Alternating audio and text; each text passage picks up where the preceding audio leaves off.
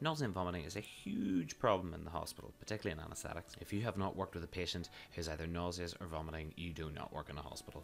About 12 to 38% of people will have post operative nausea and vomiting, resulting in an increased length of stay and hospital costs. So, to stop this, you must employ a multimodal approach when it comes to your prescription of antiemetics. So, before we look at the different antiemetics, let's see what else you can do to improve the chances of making a patient less nauseous. You can ensure good hydration, anxiolysis with appropriate medications, Select your anaesthetic drugs carefully to try to minimise the use of volatile gases or nitrous oxide. You could use a total intravenous anaesthetic like propofol, for example, and ensure good post op analgesia as pain is very emetogenic. Let's look at the physiology behind nausea and vomiting. The vomiting centre is located within the medulla and receives afferent stimuli from multiple areas, including the chemoreceptor trigger zone, peripheral pain receptors, cerebral cortex, which controls pain, anxiety, vision, and taste, the vestibular systems, and the cerebellar nuclei. It also receives signals from chemoreceptors and pressure receptors in the gut. Importantly, here, the chemoreceptor trigger zone lies to the area postrema of the floor of the fourth ventricle, just outside the blood brain barrier. Because it is outside the blood brain barrier, it is well placed to detect noxious stimuli. There are loads of receptors in the chemoreceptor trigger zone histamine or H1, muscarinic, dopaminergic, serotonergic, opioid, alpha 1 and alpha 2 adrenoreceptors.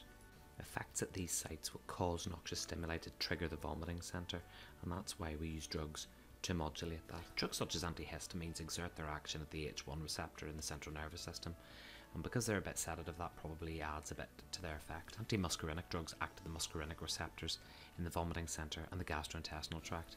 Through this and a couple of other actions, they decrease gastric distension and decrease nausea and vomiting. Antimuscarinic drugs are probably most effective for motion sickness and opioid induced nausea. Dopaminergic acting drugs usually act on the D2 receptor, which are found in the chemoreceptor trigger zone and the vomiting centre itself. They can cause dry mouth and are really good for opioid induced nausea. They sometimes cause sedation and tachycardia. Serotonergic or the 5-HT3 receptors can be found in the chemoreceptor trigger zone and the gastrointestinal tract. There are four types of serotonergic receptors, but 5-HT3 receptors are the most abundant in the chemoreceptor trigger zone. The 5-HT3 receptor antagonists are effective in the treatment and prevention of post-operative nausea and vomiting. They're also good for the nausea and vomiting associated with chemotherapy, which is where they're used extensively. Unfortunately, side effects include headache, flushing, diarrhea, constipation, drowsiness, tachycardia, bradycardia, and ECG changes, so quite a lot going on there. When stimulated, opioid receptors and alpha 1 and alpha 2 adrenoreceptors in the chemoreceptor trigger zone can cause vomiting. That's why we tend to avoid these drugs if we're trying to avoid nausea and vomiting. Examples of opiates are obviously morphine and fentanyl, and examples of alpha 1 and alpha 2 adrenoreceptor agonists are things like adrenaline, noradrenaline, phenylephrine, and metaraminol. So the reason why I've gone through these receptors first before going through drugs is to show you that the approach that you should take towards prescribing antiemetics should be multimodal. You're going to hear this word again and again when we talk about analgesics, antiemetics, and a whole host of other things in anesthetics. So now we know all the receptors and what happens whenever you do block them, let's find out what drugs actually do block them.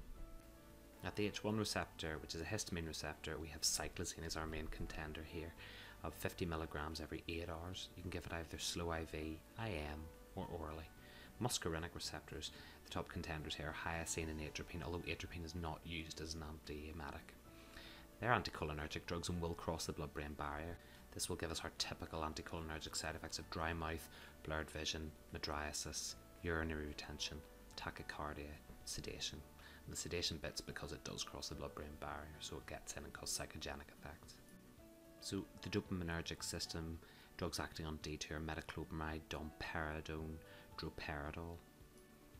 And droperidol is a butyrophenone, which is in the same family as haloperidol, is definitely not used solely as an antiemetic. Droperidol will also show mild action at the histamine receptor and have anticholinergic side effects too. Interestingly, you can also get dissociation and euphoria with droperidol too. Within the serotonergic system, have the 5-HT3 receptor, which ondansetron acts on. So as we already know, ondansetron is a great drug for post-operative nausea and vomiting and chemotherapy-related nausea and vomiting. As we've already talked about, it has unfortunate side effects of headache, flushing, drowsiness, tachycardia, or bradycardia and ECG changes, which means you have to watch out in patients who might be susceptible, such as those with a cardiac history. So here are some interesting drugs that also have antiemetic effects. Propofol works at the 5-HT3 receptor. Benzodiazepines like lorazepam have central pathways that do the same sort of thing. And then cannabinoids such as the synthetic nabilone can be given to chemotherapy patients to atone the emetic effects of their chemo. Then, as some of our last line agents, you can use your P6 acupuncture point, which is in the wrist, to stop nausea and vomiting. So, you're going to hear it again. You're going to hear about multimodal approach to prescribing antiemetics. You now know that we've got loads of different receptors that act on the vomiting centre, so you need to try to block them. And it's really important in anaesthetics because each subsequent agent you use to decrease post-operative nausea and vomiting will decrease it by a third, and this is called the rule of thirds. You need to start thinking intelligently about what receptors you're actually trying to block and think why are they sick? An example of this might be a patient with vertigo, so you know that vertigo is a vestibular disorder of the inner ear, so you know that the vestibular tract also has histamine receptors. You know that cyclizine works on histamine receptors, so why not try cyclizine as a first line agent?